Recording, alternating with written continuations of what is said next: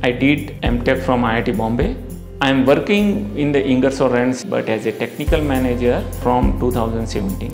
Decision of upskilling myself in the field of data science did wonder and due to expertise I gained from the AIML course I got promoted in 2022.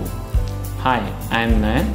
I did post graduation in artificial intelligence and machine learning from Simplilearn, and I am handling the projects uh, related to IoT data analytics.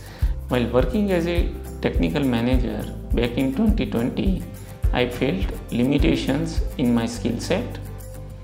And artificial intelligence and machine learning are evolving field. And upskilling was necessary to keep me up to date with the skill set. The content whatever i have found on the youtube was not comprehensive. Then i started searching the online course. I chose this course because of rich content. It follow the best practices and it is perfect fit for me. Certifications from purdue university was added advantage. My learning experience was enriching. Since class were live and interactive. I never felt bored.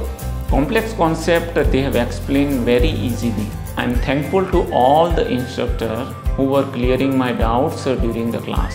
Also classes were on weekend. I didn't face any challenge related to work timing and I was having the ample amount of time to spend the timing with the family and my wife was very supportive. My company supports employee for further study. They sponsored the entire course. The certification was a great boost for me when I needed it. It gave me the great visibility in my organizations and even vice president of my organizations acknowledged my work. I look forward to upskill myself as this is the best investment anyone can make. Keep learning, success is guaranteed.